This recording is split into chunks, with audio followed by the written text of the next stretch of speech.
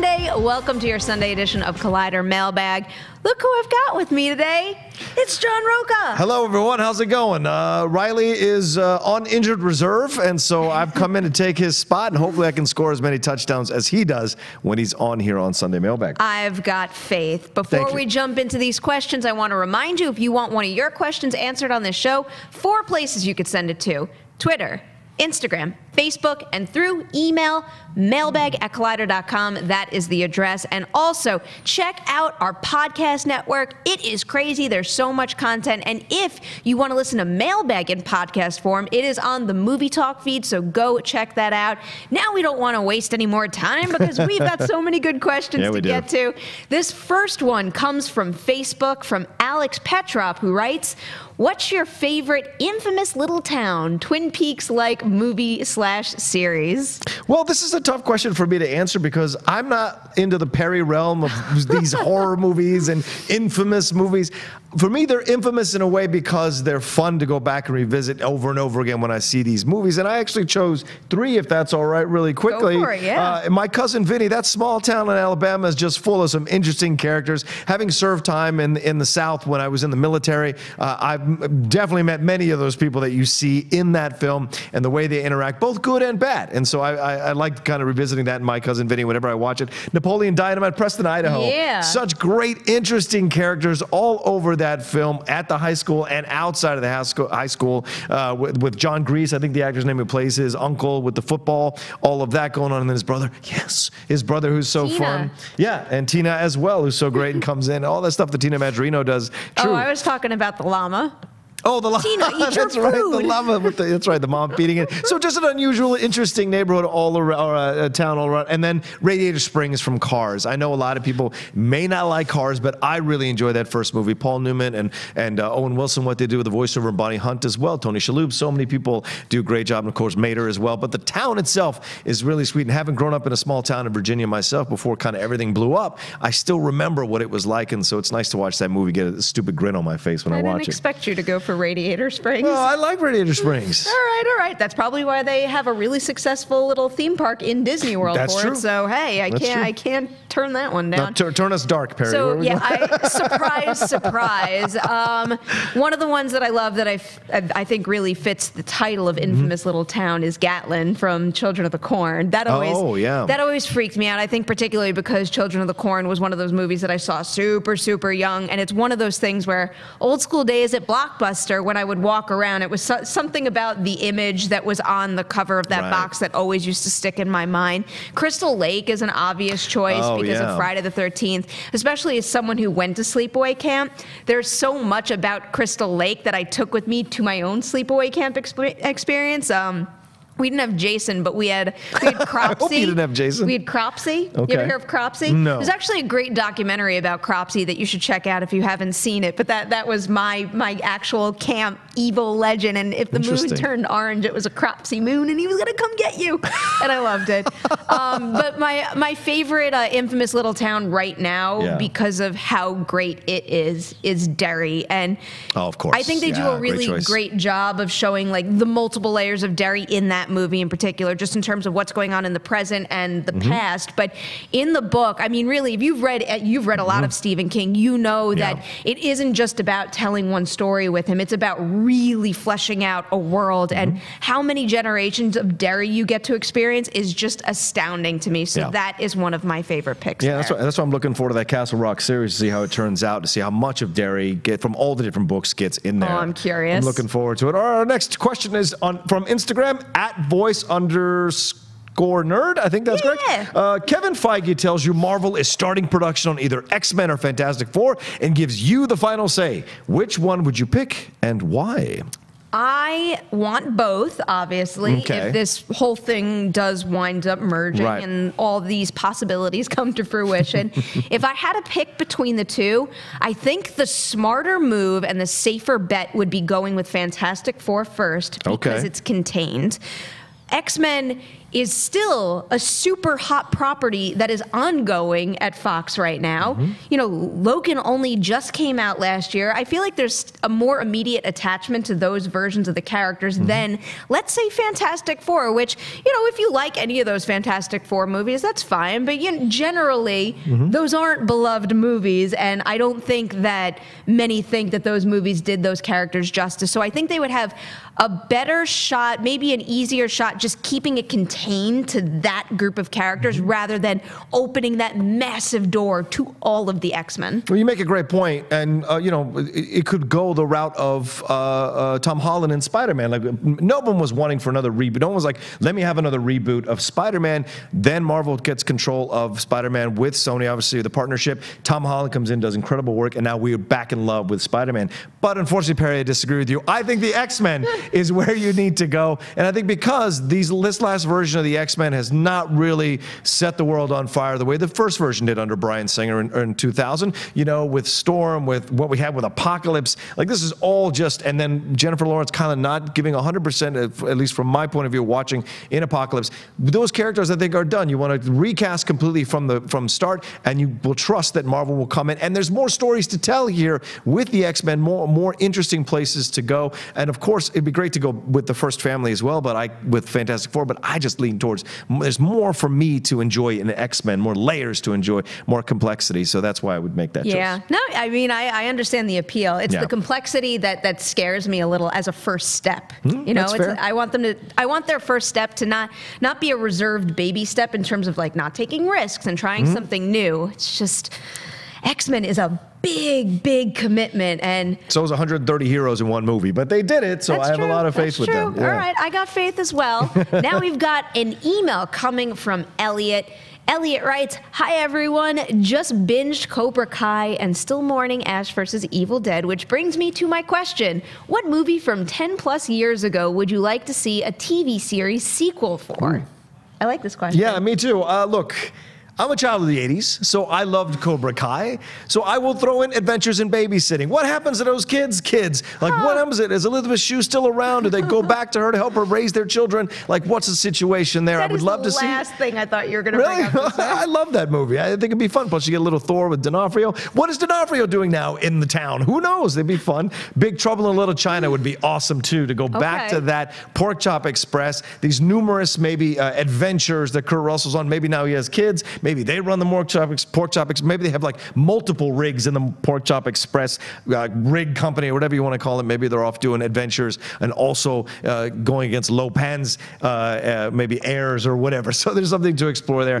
But I will throw in another sweet one, uh, Forrest Gump, and it would be fun to see where Forrest Gump's kid is now and him and them together. Did Forrest remarry after Jenny? Did what? How did he raise his child? What's his child doing now? What new world experiences is Forrest Gump stumbling into, finding his way through, and finding the humor in those moments and making the money. And the last thing, and I'll throw out is Armageddon. I just would like to see where Ben Affleck and Liv Tyler's child ends up. Maybe because it's, an, it's a 20 year old film. Maybe, is there another uh, asteroid?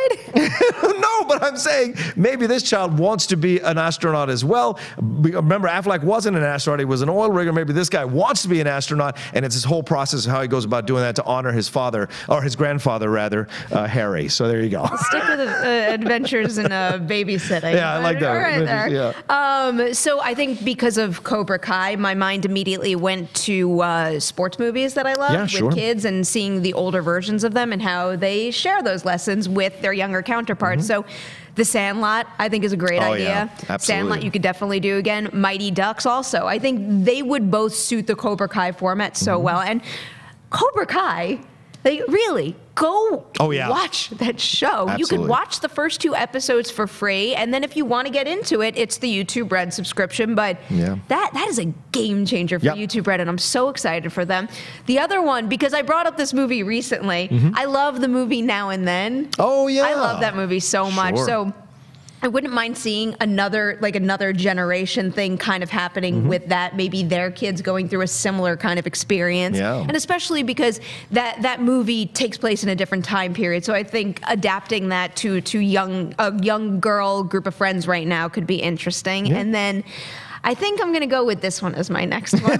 and this, you know why this one came to mind is because we've been talking a lot about Bill and Ted recently. Oh, yeah. And so whenever I used to watch this movie on VHS, you remember how VHS used to have that like super cheesy batch of uh, not not necessarily trailers, but where they would do like a montage of a whole bunch of other Yes. v- things you could buy on Yeah, VHS from this company. So whenever I used to watch Encino Man, that's always where they advertised Bill and Ted, and I only discovered Bill and Ted because I was obsessed with Encino Man. Yeah. Why can't we see Link as like Sure. a businessman, all grown up? What's Brendan Fraser doing right now? I want to see that movie. He's doing an FX show about Oh, uh. J.P. Morgan Chase. That- yeah, that's JP, a yeah. that's a good point. Yeah, Um, he's yeah. working, so I'm sure he'd love to come back to do The Encino Man. the- Trust, The yeah, trust. trust. Okay. Yeah. All right. Well then. Do you want to see any of those options? Do you have options of your own? Put them in the comment section because that was a weird batch of things we just came up with. I like it. I like it, weird is fun. What's our fourth question? it's- it's oh, come- wait, wait, wait. What's that? We can't move on because Oh, yeah. this next question, we are going back to Avengers Infinity War spoiler territory. What did what did we say on the clock? Four minutes. Four, minutes. All right. All right, guys. So Starting. if you are listening to the podcast, I'm going to click the start button. All you have to do is scroll forward four minutes and you will be spoiler free again. The clock is starting right now. All right, it might take a little bit longer to say this person's name. It's from Twitter at Mr. Pogia Kotalaga. All right, I hope I got that right. Uh, they ask, I don't even know what gender that would be. I know it says Mr., but it's weird. All right, who do you think lands the death blow to Thanos? In Avengers 4. This person is assuming there is a death blow. Who would land There's it in a, Avengers there's a death blow. Oh, you do? Oh, I don't all right. necessarily think death blow strictly means, you know, like a punch to the face or something Right. like that. But I'm going to go to my snap theory, and it's that all the characters pre snap are dead. And I do think Mm-hmm. not necessarily like every single person is going to switch sides Right. in terms of the, the people who survived are dead and Right. the people who faded away come back. I do think there is a scenario where many, if not all of the original Avengers, will have to sacrifice themselves to bring back this new era of heroes. And really, I think more so than anything, what almost all of the MCU movies have been paving the way towards is this this constant push and pull between mm-hmm. Cap and Iron Man and them ultimately being able to unite. So where I see Avengers Infinity War ending is that not just one of them, but both Captain America and Iron Man will have to sacrifice themselves together mm-hmm. in order to take down Thanos and bring back some of those who faded into dust. Well, this is Perri's fantasy that old people have to make the way for the young. Well, I tell, I'm here to tell you that's not going to happen. Can someone make a make a Photoshop of Rocha fading away right now? Yeah, please. I don't feel so good, Perri. No, listen.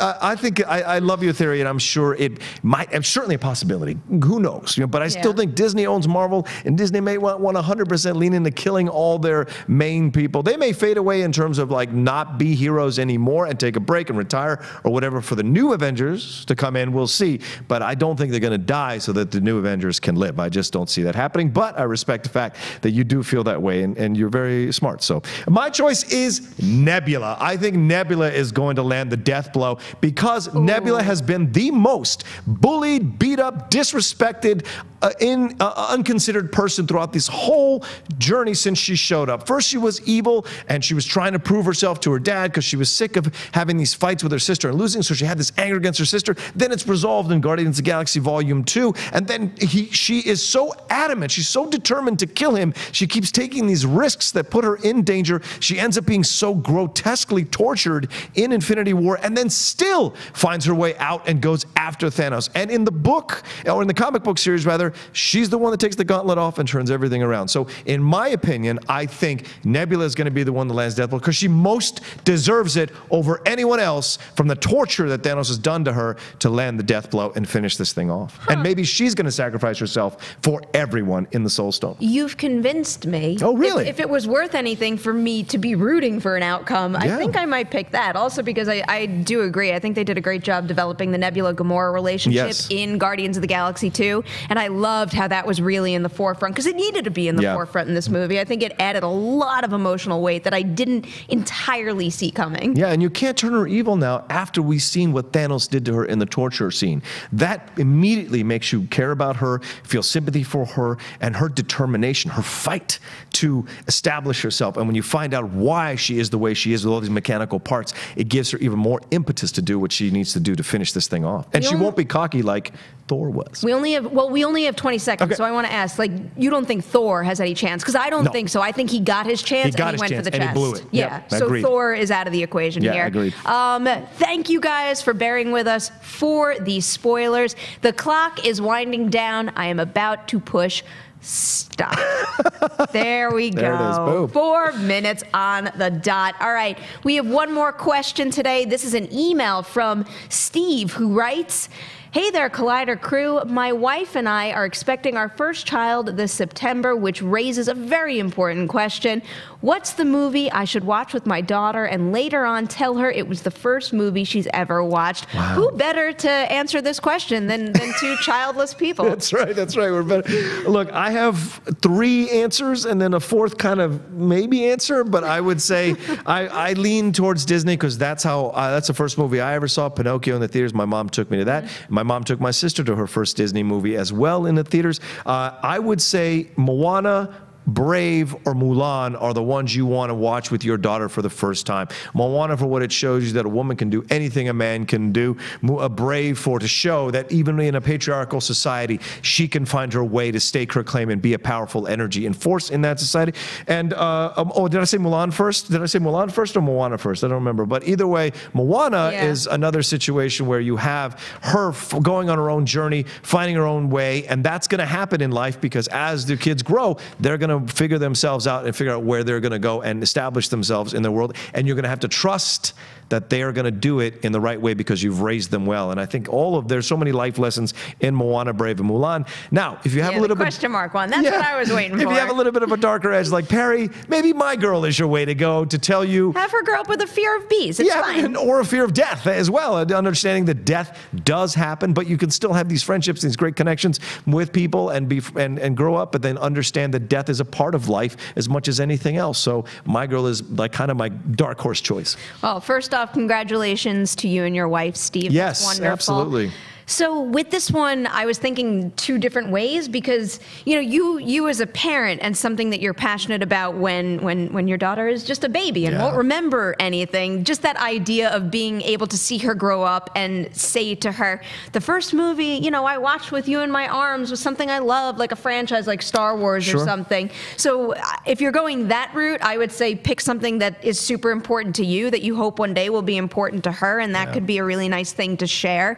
But in terms of you know her getting older and really being able to process what she's seeing, my mind immediately went to Inside Out because I think as a, Oh, that's as a great kid, choice, Perri. That's Yeah. that's a movie that I think would have impacted me in a really positive Yeah. way. I mean, that movie does such a fantastic job. Whether you're a kid or an adult, just visualizing how the mind works and Mm-hmm. how you could process emotions and passions and how you interact with other people. And Yeah. it's a it's a brilliant movie across the board. But that movie definitely works on a very personal level where it, it was in my head, and you know, honestly, it did make me think about how I react to certain situations, and it's so well done. So And you- Bing Bong, Bing Bong.